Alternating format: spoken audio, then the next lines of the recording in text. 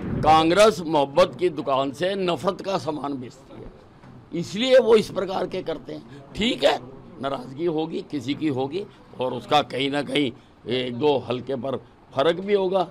अभी फैक्ट्री खोली नहीं, राहुल गांधी जी ने, अभी उसका ताला लगा हुआ है। देखते हैं, अभी वो उठे होंगे, आएँगे, फैक्ट्री खोलेंगे, फिर जनरेटर स्टार्ट करेंगे, फिर उसमें से धुआँ निकलेगा, फिर देखते हैं, जलेबी आती है।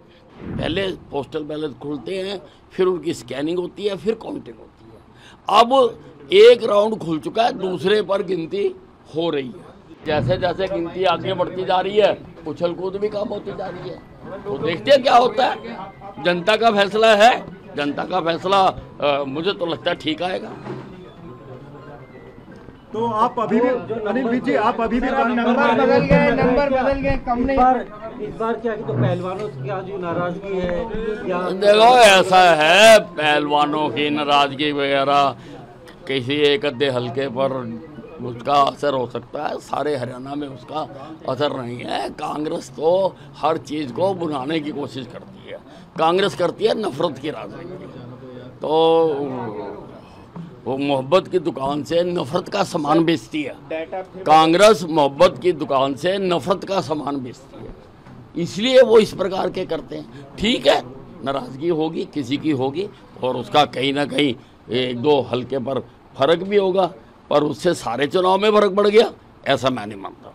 ऋषभ इस बार ट्रेंड चेंज हो गया। लड्डू की जगह कांग्रेस जो है वो जलेबियाँ बांटने पे आ गई है जब से राहुल गांधी ने जलेबी नहीं नहीं अभी फैक्ट्री खोली नहीं राहुल गांधी जी ने। अभी उसका ताला लगा हुआ है। देखते हैं अभी वो उठे होंगे आएँगे फैक्ट्री खोलेंगे फिर जनरेटर स्टार्ट करेंगे फिर उसमें से धुआँ निकलेगा फिर देखते हैं जलेबी आती है। सब इलेक्शन कमीशन के आंकड़ों में अभी भी बीजेपी आगे चल रही है। हाँ हाँ। ऐसे ही रहेगा आप देखना अभी अभी ये जो है ना जिस वक्त ये रिज़ल्ट बताए जा रहे थे उस वक्त अभी पोस्टल बैलेट गिने भी नहीं गए थे। उस वक्त तो पोस्टल बैलेटों की स्कैनिंग हो रही थी प्रोसेस है। पहले पोस्टल बैलेट खुलते हैं फिर उनकी स्कैनिंग होती है फिर काउंटिंग होती है। अब एक राउंड खुल चुका है दूसरे पर गिनती हो रही है।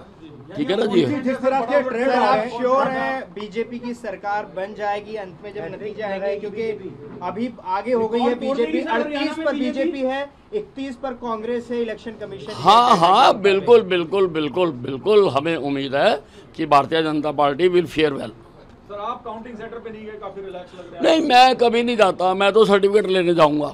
उसी वक्त ही जाता हूँ मैं। मेरे मेरा चुनाव मेरे कार्यकर्ता लड़ते हैं मेरे शहर की जनता लड़ती है और जश्न भी मेरे शहर की जनता ही मनाती है हर बार। मैं तो शामिल हो जाता हूँ। मुख्यमंत्री के पद पर अभी भी दावेदारी है आपकी? नहीं देखिए जो कहे हुए शब्द हैं वो कभी वापस नहीं लिए जाते। जो कहा हुआ है वो कहा हुआ है।